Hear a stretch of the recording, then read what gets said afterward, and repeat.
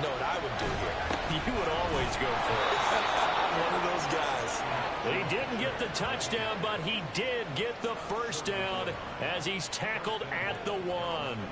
He needed less than a foot. He didn't get a whole lot more than that, but he did get the first down. But he and his offensive line created enough push where if he was able to just fall forward as he was able to there.